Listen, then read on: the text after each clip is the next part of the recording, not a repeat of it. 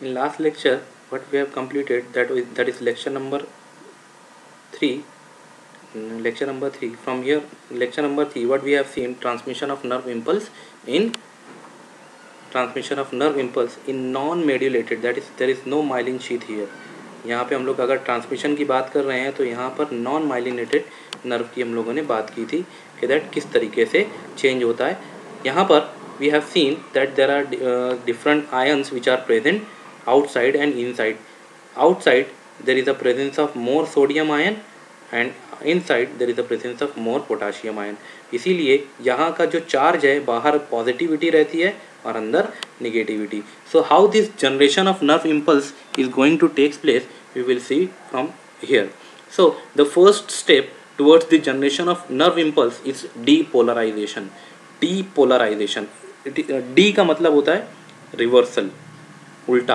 Polarised polarised state यहाँ पे हम लोगों ने देखा था पोलराइज्ड स्टेट अब पोलराइज्ड स्टेट का मतलब क्या था? कि बाहर पॉजिटिव अंदर निगेटिव तो यहाँ पे डीपोलराइजेशन का मतलब ये होगा कि at some point there will be positive charge inside और नेगेटिव चार्ज आउटसाइड तो डीपोलराइजेशन का मतलब reversal of polarity so first step is for the origin and maintenance of resting potential, it depends upon the original and perfect state. Okay, any change or disturbance, any change, any change or disturbance to the membrane will cause sodium to run into membrane, run into the membrane. Why? देखो, during resting potential, both the gates sodium and potassium are closed. Hence the resting potential is maintained.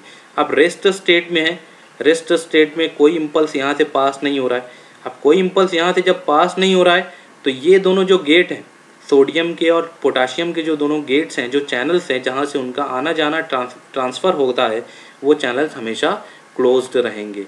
वो channel क्या रहेंगे? Close रहेंगे हमेशा। ठीक है? तो ये क्लोज रहेंगे। ठीक है? ड्यूरिंग डीपोलराइजेशन डीपोलराइजेशन का मतलब आपको मैंने बताया reversal of polarity reversal of polarity यानी कुछ पॉजिटिव चार्ज अंदर की तरफ़, कुछ नेगेटिव चार्ज बाहर की तरफ़। ड्यूरिंग डीप डीपोलराइजेशन जो सोडियम गेट होता है, जो सोडियम गेट होता है, वो खुल जाता है। Sodium gates open but potassium वैसा की वैसा ही रहेगा। ठीक है? देखो यहाँ पे पोटाशियम वैसा की वैसा ही है, और यहाँ पे सोडियम जो है, यहाँ का सोडियम गेट खुल जाता है। ठीक है? This causes sodium to rush in to axon brings about depolarization अब यहाँ पे क्या होगा कि जैसे ही सोडियम गेट ओपन होगा तो बाहर जितना भी सोडियम प्रेजेंट है, बाहर मतलब एक्जॉन के बाहर एक्जॉन के बाहर का मतलब एक्स्ट्रा सेलुलर फ्लूड में, ये जो बाहर का हिस्सा है हम लोग कहते हैं E C F E C F E C F का मतलब है एक्स्ट्रा सेलुलर फ्लूड तो एक्स्ट्रा सेलुलर फ्लूड के अंदर जितना भी सोडियम मौजूद होगा वो सोडियम अंदर की तरफ़ रश होने लगेगा। देखो, यहाँ पे बताया गया है, ये जो फिगर है, यहाँ पे अगर आप देखें तो सोडियम जैसे ही सोडियम चैनल ओपन हुआ, ये सोडियम बाहर से अंदर की तरफ़ आया और जब अंदर की तरफ़ आया तो sodium contains positive charge sodium contains positive charge तो ज़्यादा सोडियम अंदर आने की वजह से अंदर का जो इतने हिस्से का जो चार्ज है, वो चेंज हो गया। यहाँ देखें नॉर्मल कंडीशन में क्या था? नॉर्मल कंडीशन में यहाँ निगेटिव चार्ज है। दिस इज़ रेस्टिंग कंडीशन और normal condition you can say resting और नॉर्मल कंडीशन लेकिन अगर आप यहाँ देखें तो यहाँ पे एक्साइटेड है। तो जब एक्साइटेड है इसका मतलब इम्पल्स यहाँ से पास हुआ। उस वक्त सोडियम का गेट खुला। गेट खुलने के बाद सोडियम अंदर की तरफ़ आया। अंदर की तरफ़ आया। जब सोडियम अंदर आया तो, तो यहाँ पे जो निगेटिव चार्ज था यहाँ पर जो निगेटिव चार्ज था वो पॉजिटिव में कन्वर्ट हो गया। तो यहाँ पे देखो चेंज हो गया ना। निगेटिव पॉजिटिव में हो गया पॉजिटिव निगेटिव में हो गया। तो ये जो रिवर्सल है, ये जो चेंज है, इसको कहते हैं डीपोलराइजेशन इसको क्या कहते हैं? डीपोलराइजेशन इसको कहते हैं अपोजिट पोलरिटी और you can say opposite polarity अब क्या हुआ? जितना सोडियम बाहर मौजूद था यहाँ पर, उस उस, उन तमाम चीज़ों को तो हमने अंदर ले लिया। वो तमाम सोडियम को तो हमने अंदर ले लिया ना। तो बाहर जो पॉजिटिव चार्ज था वो पॉजिटिव चार्ज अब किसमें कन्वर्ट हो गया? निगेटिव चार्ज में। क्यों कन्वर्ट हुआ? बिकॉज़ सारा सोडियम जो पॉजिटिव चार्ज यहाँ पे दे रहा था, इतने हिस्से का सारा सोडियम हम लोगों ने अंदर ले लिया। कैसे अंदर लिया? सोडियम गेट के ज़रिए। कैसे अंदर किया? सोडियम गेट के ज़रिए। और वो गेट कैसे एक्टिवेट हुआ? एक्साइटेशन पे। तो जब एक्साइटेशन ऑफ़ एक्सॉन हुआ सोडियम गेट ओपन हुआ तो बाहर जितना सोडियम मौजूद था, वो अंदर की तरफ़ मूव होने लगा। और यहाँ का जो चार्ज था पॉजिटिव चार्ज अब वो अंदर की तरफ़ आ गया। और यहाँ पर जो निगेटिव चार्ज था, वो बाहर की तरफ़ चला गया।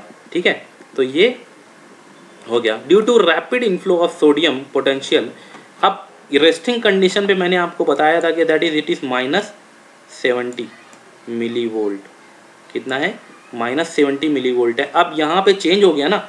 माइनस माइनस सेवेंटी कब था? जब पूरा अंदर माइनस था, पूरा पॉजिटिव बाहर था। लेकिन यहाँ पे चेंज हुआ। यहाँ पे सोडियम यहाँ पर जब सोडियम अंदर आया तो ये जो चेंज है, ये चेंज कहलाता है पोटेंशियल डिफरेंस तो यहाँ पे डिफरेंस आया। तो ये जो पोटेंशियल डिफरेंस है plus thirty two plus sixty millivolt तक होता है। कितना होता है? प्लस सिक्सटी से प्लस सॉरी प्लस थर्टी से प्लस सिक्सटी मिली वोल्ट होता है, जो कि पहले हमारा रेस्टिंग में क्या था? माइनस सेवेंटी तो ये जो इस, ये जो स्टेप है, जो बी स्टेप है, ये है डीपोलराइजेशन ये क्या है? डीपोलराइजेशन आप ये मत समझो कि डीपोलराइजेशन पूरे में हुआ है। नहीं, सिर्फ़ और सिर्फ़ इतने हिस्से में डीपोलराइजेशन हुआ है, बाकी का हिस्सा पोलराइज है। बाकी का हिस्सा कितना? क्या है? पोलराइज है। सिर्फ़ इतना हिस्सा डीपोलराइज हुआ है, पर बाकी का हिस्सा पूरा पोलराइज है। ठीक है? तो इतना हिस्सा डीपोलराइज हुआ, इतना हिस्सा डीपोलराइज हुआ है, और इतना हिस्सा पोलराइज है। अब नेक्स्ट नेक्स्ट स्टेज में क्या होगा? यहाँ का पोलराइजेशन हो गया। ठीक है? उसके बाद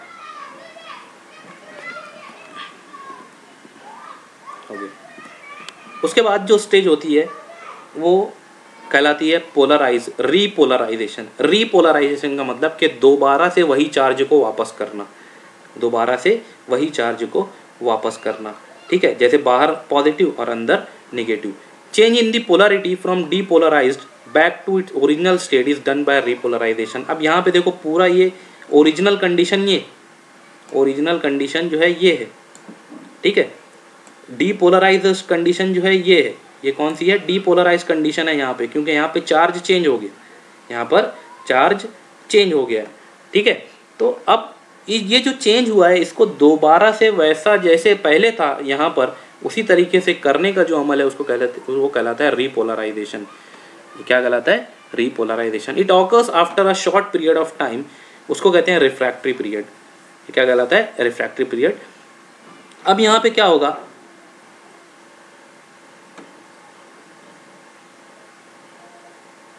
यहाँ पे रीपोलराइज रीपोलराइजेशन में क्या होता है कि that large number of sodium ion inside जब पूरा सोडियम आयन हम लोगों ने जब अंदर ले लिया था, उस वक्त पूरा अंदर आ गया ना, सोडियम डीपोलराइज में हम लोगों ने बताया कि सोडियम चैनल जो, सोडियम चैनल खोलता है और बाहर पूरा सोडियम अंदर की तरफ़ आता है और जब सोडियम अंदर की तरफ़ आता है तो अंदर पॉजिटिव चार्ज बन जाता है और बाहर निगेटिव चार्ज हो जाता है, ठीक है? तो ये जब अंदर की तरफ़ आया तो ये सोडियम परमियाबिलिटी को डिक्रीज कर देता है परमियाबिलिटी को डिक्रीज कर देता है, जिसकी वजह से जो सोडियम, जो पोटाशियम आयन है उसका जो चैनल है, वो ओपन होता है।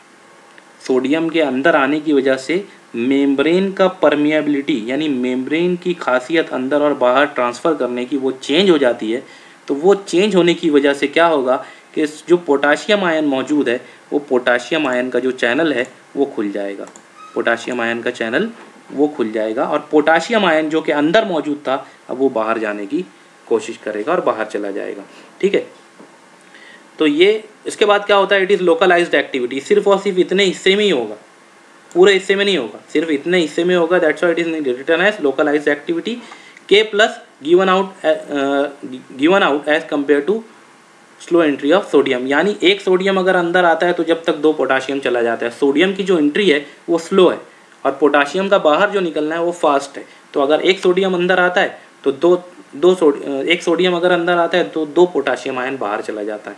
ठीक है? ये क्यों होता है? मेंटेनेंस ऑफ़ चार्ज इसको मेंटेन करना पड़ेगा ना? पोटेंशियल डिफरेंस यहाँ पे मेंटेन करना पड़ेगा। ठीक है?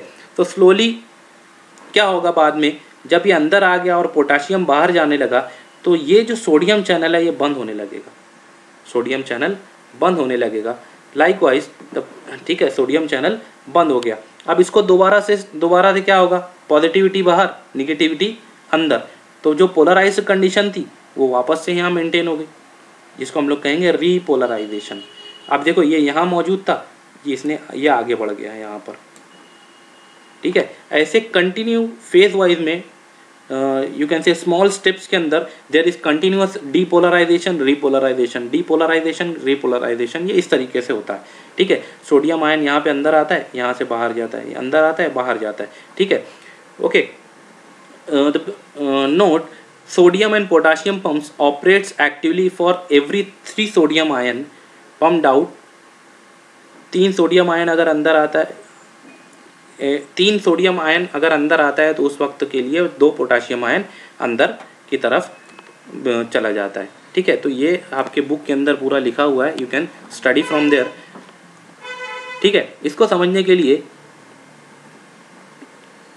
इसको समझने के लिए मैं आपको एक वीडियो भी दिखाऊँगा इस इसके बाद, ठीक है? तो आपको ये आसानी से समझ में आएगा कि that how the generation of nerve impulse takes place तो यहाँ पर जितनी भी हम लोगों ने बात की नर्व इम्पल्स जनरेशन की, ये तमाम जो नर्व इम्पल्स जनरेशन था, वो किसमें था? नॉन माइलिनेटेड नर्व न्यूरॉन में था. किसमें था? नॉन माइलिनेटेड न्यूरॉन में था. Now we will see how the nerve impulse is going to transfer from myelinated neuron. In myelinated neuron, insulating myelin sheath, देखो ये जो ये मौजूद है, ये माइलिन शीथ है ये ये क्या है?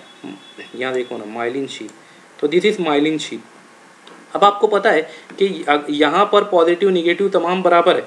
तो ये, यहाँ पर ये पास नहीं हो पाएगा, जो इम्पल्स है वो यहाँ से पास नहीं हो पाएगा इसके आगे से। क्यों? Because presence of myelin sheath यहाँ पर माइलिंग शीट होने की वजह से ये इम्पल्स यहाँ पर ट्रांसफ़र नहीं होता।